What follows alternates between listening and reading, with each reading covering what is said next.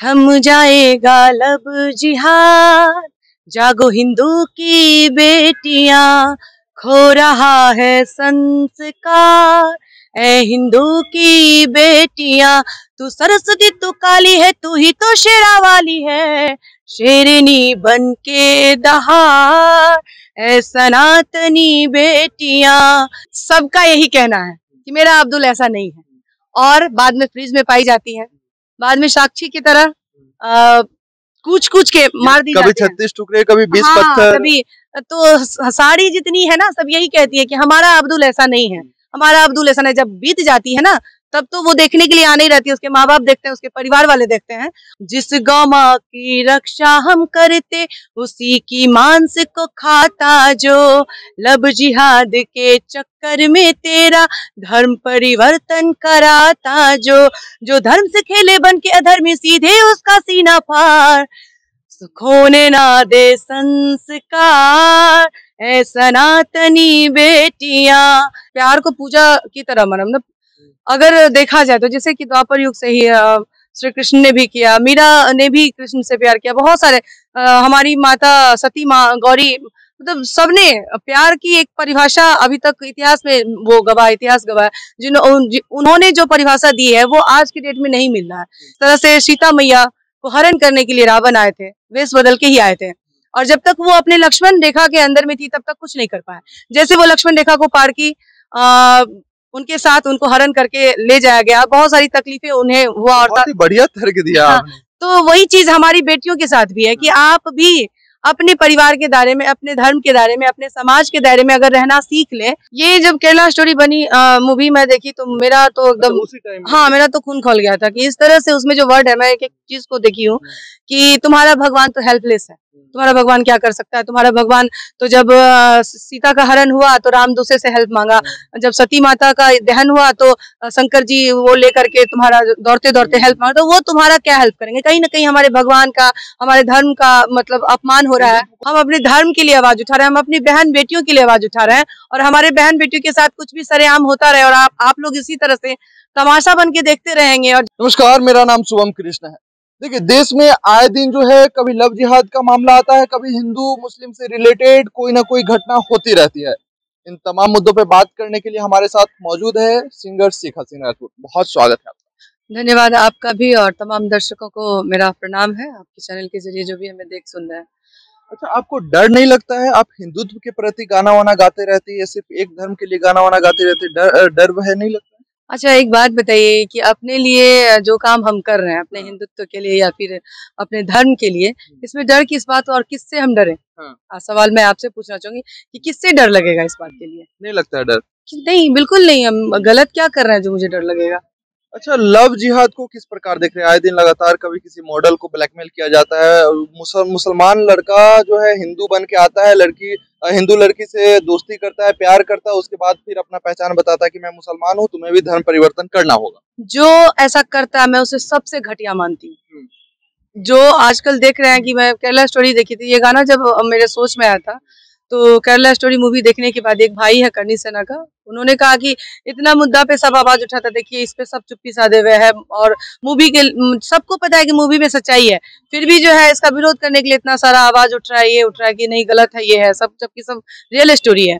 और उसके बाद फिर एक चीज़ और आया उन्होंने ये भी कहा कि भोजपुरी वाला सब, कोई एक छोटा मुद्दा होता है, कुछ भी होता है तो उसका रातों रात मतलब सुबह हुआ एक घंटे में गाना बन के चला जाता है। लेकिन ये, इन सब चीज़ों से जुड़ा हुआ कोई गाना अभी तक नहीं बना है, आश्चर्य की बात है।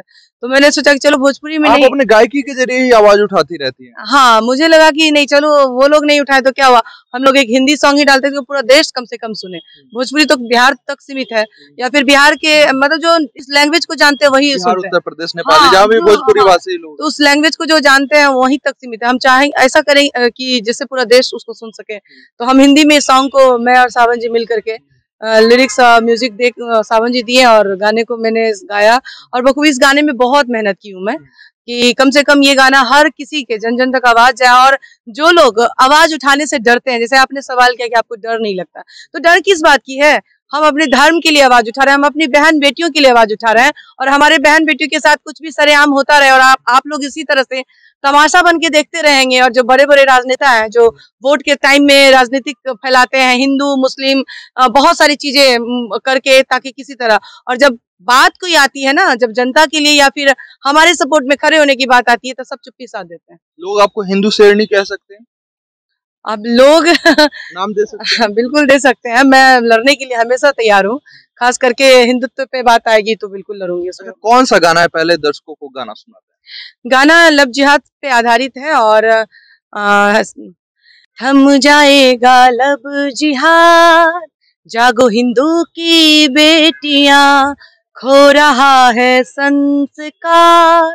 ए हिंदू की बेटिया, तू सरस्वती तू काली है, तू ही तो शेरा वाली है। शेरनी बन के दहार ए सनातनी बेटिया, शेरनी बन के दहार जागो हिंदू की बेटियाँ जिस गौ माँ की रक्षा हम करते, उसी की मांस को खाता जो। लब जिहाद के चक्कर में तेरा धर्म परिवर्तन कराता जो। जिस गौ माँ की रक्षा हम करते, उसी की मांस को खाता जो। लब जिहाद के चक्कर में तेरा धर्म परिवर्तन कराता जो। जो धर्म से खेले बन के अधर्मी सीधे उसका सीना फार खोने ना दे संस्कार। ऐ सनातनी बेटियाँ शेरनी बन के दहार। ऐ सनातनी बेटियाँ थम जाएगा लब जिहार। ऐ हिंदू की बेटियाँ। वाह बहुत बढ़िया। अच्छा गाना किसने लिखा है? आ, गाना सावन जी ने लिखा सूर्य प्रताप सावन जी यहाँ सामने हैं और उन्होंने लिखा भी है म्यूज़िक भी उन्होंने ही दिया है। और मैं सिर्फ़ गाने का काम की अच्छा लोग कहेंगे कि सीखा सिंह राजपूत प्यार के खिलाफ है क्या? मोहब्बत के खिलाफ है क्या? नहीं ऐसा नहीं है। प्यार मोहब्बत मैं तो प्यार को समझती हूँ कि प्यार बहुत मतलब जो लोग सच्चे दिल से प्यार करते हैं प्यार को पूजा की तरह मना मतलब अगर देखा जाए तो जैसे कि द्वापर युग से ही श्री कृष्ण ने भी किया मीरा ने भी कृष्ण से प्यार किया बहुत सारे आ, हमारी माता सती माँ गौरी मतलब सबने प्यार की एक परिभाषा अभी तक इतिहास में वो गवाह, इतिहास गवाह जिन उन्होंने जो परिभाषा दी है, वो आज की डेट में नहीं मिल रहा है। कहीं ना कहीं आज प्यार हुआ, कल ब्रेकअप हुआ, किसी न किसी स्वार्थ के बस से, चाहे वो लड़कियाँ हो, चाहे वो लड़के हो, लड़के को भी कोई ना कोई स्वार्थ होता है या फिर लड़कियों को भी ना कुछ ना कुछ स्वार्थ होता है।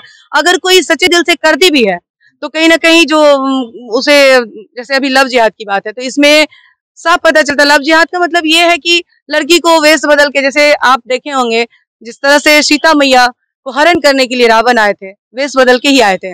और जब तक वो अपने लक्ष्मण रेखा के अंदर में थी तब तक कुछ नहीं कर पाए।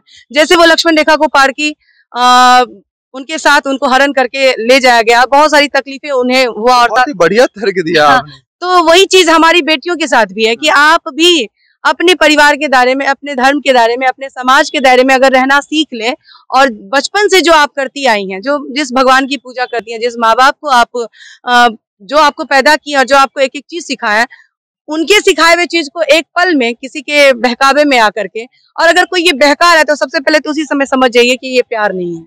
अगर प्यार है तो आपके हर चीज़ से उसको प्यार होना चाहिए। ना कि बस कि तुम मेरी हर बात को मानो तुम्हारा तुम्हारे फीलिंग्स का तुम्हारे माँ बाप का तुम्हारे संस्कार का तुम्हारे धर्म का तुम्हारे भगवान का मैं सबका बेजती करता रहता हूँ और तुम मेरी बात को मानकर अपने प्यार में त्याग समर्पण जो भी है करती रहो। तो ये इस प्यार को मैं प्यार नहीं मानती हूँ उसी समय आप लोग सतर्क हो जाए। अगर कोई ऐसा करने पे मजबूर करता है तो आप ना करें। ये गाना गाने का आइडिया कहाँ से है ये गाना आइडिया ऐसे ही हम लोग बैठे हुए थे और केरला स्टोरी की बात चल रही थी मूवी हम नहीं देखे थे और कुछ लोग बोल रहे थे कि मूवी बहुत अच्छा है मेरे करनी सेना का भाई है, महामंत्री है वो संगठन महामंत्री है, राष्ट्रीय। नीतीश कुमार सिंह नाम है उसका। तो वो ऐसे ही बैठे बोला कि दीदी अभी तक भोजपुरी वाला लोग को इस पे नज़र नहीं पड़ा है। अभी तक भोजपुरी में कोई मुद्दा उठता है तो गाना बन जाता है। ये सब मुद्दा पे ना कोई नेता बोलेगा और ना ही वर्तमान में बहुत सारे मुद्दे चल रहे तो किन मुद्दों पे आपने ये गाया साहिल साक्षी या भागलपुर या बिहार बहुत सारे मुद्दे ये जब केरला स्टोरी बनी मूवी मैं देखी तो मेरा तो अच्छा, एकदम हाँ मेरा तो खून खोल गया था की इस तरह से उसमें जो वर्ड है मैं एक एक चीज़ को देखी हूँ हम्म। की तुम्हारा भगवान तो हेल्पलेस है। तुम्हारा भगवान क्या कर सकता है? तुम्हारा भगवान तो जब सीता का हरण हुआ तो राम दूसरे से हेल्प मांगा। जब सती माता का दहन हुआ तो शंकर जी वो लेकर के तुम्हारा दौड़ते दौड़ते हेल्प मांगा। तो वो तुम्हारा क्या हेल्प करेंगे? कहीं ना कहीं हमारे भगवान का हमारे धर्म का मतलब अपमान हो रहा है। कमज़ोर दिखाया कमज़ोर दिखाया जा रहा है और मज़ाक बनाया जा रहा है। तो इस मज़ाक में कहीं ना कहीं हम लोग भी दोषी हैं। हम लोग भी ये चीज़ करते हैं। हमारी बहनें भी इस चीज़ को समझ नहीं पाती हैं। हमारे अभिभावकगण है जो अपने बच्चे को धर्म की अच्छे से शिक्षा नहीं दे पाते हैं।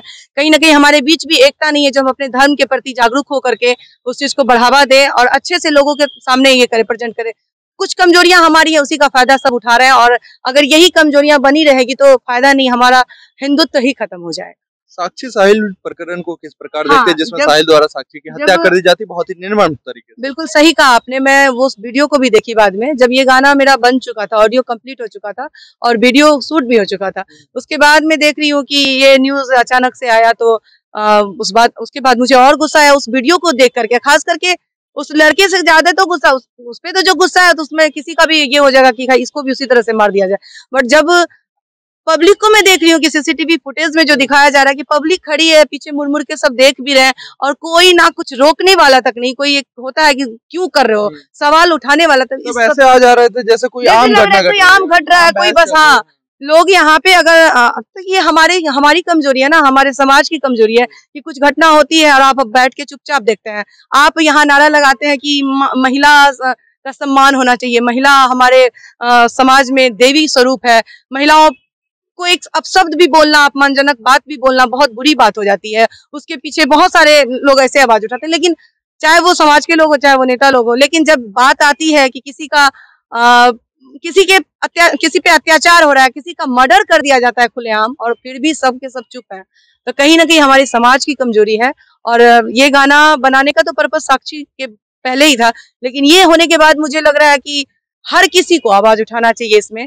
और हर किसी को इन सब घटनाओं को देख करके भी सीख लेनी चाहिए कि इस तरह से अगर होता रहा तो कल साक्षी के साथ हुआ है आगे किसी और के साथ पहले भी बहुत सारी लड़कियों बहुत के साथ बहुत कुछ हुआ है लेकिन फिर भी कहीं ना कहीं हमारी कमजोरियों की वजह से ये सब कोई एक्शन नहीं ले पाता है कोई आवाज़ नहीं उठा पाता है डर। अभी आपने बोला ना कि डर तो मैं सोचती हूँ अगर इसी तरह से डर डर के सब अ, अ, सोच ले कि ऐसा होता है होने देते हैं हम क्यों इस पचरा में पड़े सब तो अपनी सोचते हैं। और उस चक्कर में होता क्या है ना कि जब हमारे साथ होता है तब हम आवाज़ उठाते हैं कि एक्शन नहीं लिया गया प्रशासन कमज़ोर है तो ये है। आप खुद जागरूक होइए ना तब सबको जागरूक होना चलते चलते आखिरी सवाल जो हिंदू लड़कियाँ कहती है मेरा वाला अब्दुल ऐसा नहीं है उन्हें क्या कुछ कहेंगे? सबका यही कहना है कि मेरा अब्दुल ऐसा नहीं है। और बाद में फ्रिज में पाई जाती है। बाद में साक्षी की तरह आ, कुछ कूच के मार दी कभी छत्तीस टुकड़े कभी बीस हाँ, पत्थर। कभी तो साड़ी जितनी है ना सब यही कहती है कि हमारा अब्दुल ऐसा नहीं है। हमारा अब्दुल ऐसा नहीं जब बीत जाती है ना तब तो वो देखने के लिए आने ही रहती है उसके माँ बाप देखते हैं उसके परिवार वाले देखते हैं और उसके पहले उसे बहुत मज़ा आता है कि नहीं हम जो कर रहे हैं वो बहुत अच्छा काम कर रहे हैं। इससे अच्छा बढ़िया कोई काम ही नहीं हो सकता और हमारे अब्दुल के जैसा पूरे वर्ल्ड में कोई नहीं हो सकता है। और लेकिन जब घटती है घटना ना तब बाद में उस उससे जुड़े- उस समाज पे उस समाज पे असर पड़ता है और बाद में उससे जुड़े हुए लोगों का जैसे मेरा भी खून खोलता है। कहीं ना कहीं अगर ठीक है मतलब पता नहीं क्यों किसी के साथ उस तरह का अन्याय हो और लोग इस तरह से रहते तो आप में भी मतलब जि- जिनको बिल्कुल। गलत और सही का फ़र्क उसे गुस्सा आता है। कहीं ना कहीं गुस्सा मुझे भी आया था जब मैं एक छोटा सा मूवी देखी तीन घंटे का मूवी देखी हूँ तो उतना गुस्सा आया। साक्षी का वो सीसीटीवी फुटेज देखी हूँ तो उतना गुस्सा आया। तो आप सब लोग को गुस्सा कैसे नहीं आ रहा? आवाज़ क्यों नहीं उठा रहे हैं? आखिरी में उस गाना का दो लाइन मैं फिर से सुनना चाहूँगा। थम जाएगा लब जिहाद जागो हिंदू की बेटियाँ खो रहा है संस्कार। जागो हिंदू की बेटियाँ, तू सरस्वती, तू काली है, तू ही तो शेरा वाली है। शेरनी बन के दहार, ऐ सनातनी बेटियाँ। शेरनी बन के दहार, जागो हिंदू की बेटियाँ। बहुत बढ़िया। चलिए इन तमाम मुद्दों पे आप क्या कुछ सोचते हैं, आप कमेंट में अपनी प्रतिक्रिया ज़रूर रखें। धन्यवाद।